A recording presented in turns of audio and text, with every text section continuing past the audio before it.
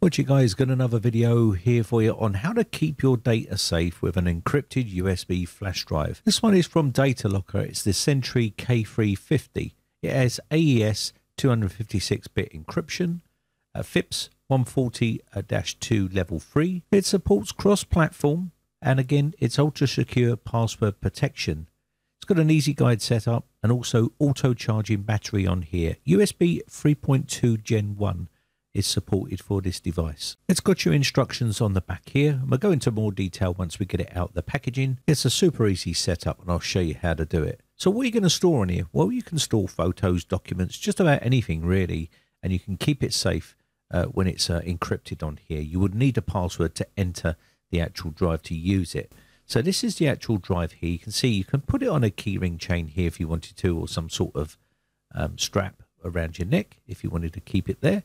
Again, you've got a nice little cap to cover the actual USB here. We have a digital display layout here. So we've got a menu system on here and we have our keypad, which is going to allow us to put in our password and lock the actual USB flash drive down. The device has a three year warranty and also you can set up a user account and an admin account on this USB flash drive. Now, because this USB flash drive is password protected and encrypted, if someone tried to brute force uh, the password on this to try and gain access to it, they won't be able to get in there. And you can set the amount of failed password attempts, which would then erase the decryption key. So you won't be able to gain access to all the data on that USB drive. So when you first turn the USB flash drive on, it's going to ask you to create a admin password.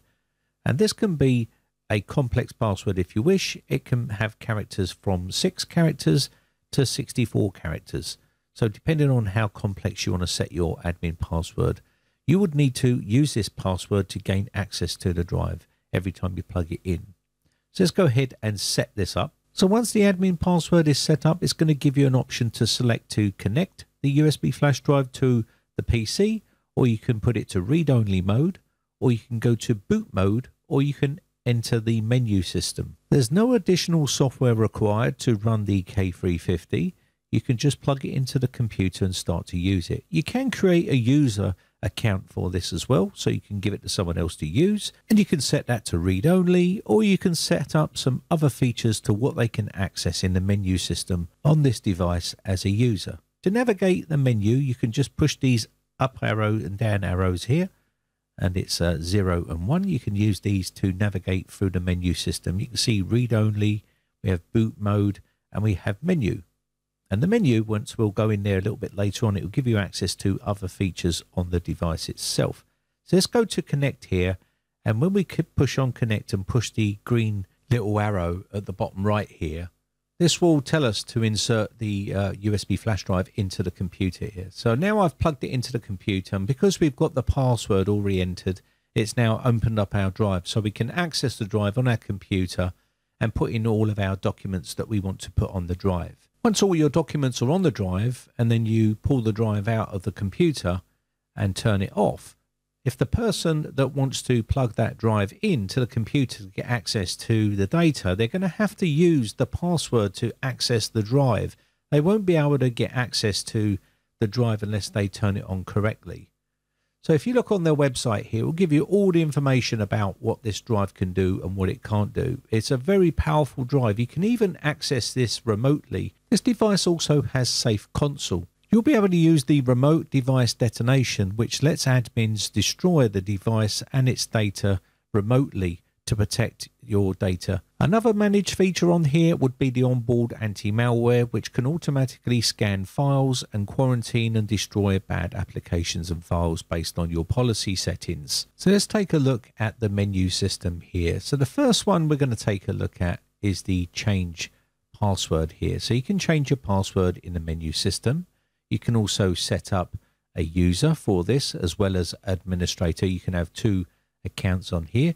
And you can set up that user account to have certain access to what you want on this device itself.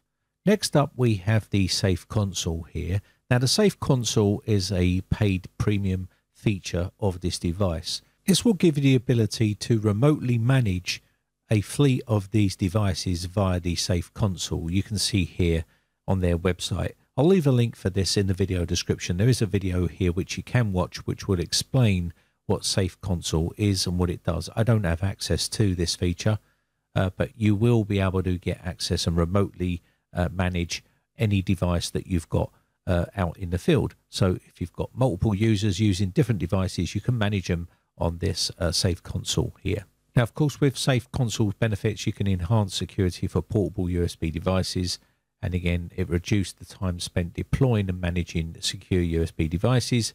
And there's loads of other things you can do with this particular Safe Console. I'll leave the link in the video description so you can read all this information. So if you are a business that you want to, uh, you know, deploy a bunch of these to your staff and you want to manage them, then something like Safe Console is going to be uh, something that is going to be useful to you. All I have to show is the website itself. So let's move on to the next one here, which is uh, self-destruct. Now, self-destruct is the area where it allows you to set the amount of failed password attempts before the data is wiped or the key is wiped so you can't gain access to it.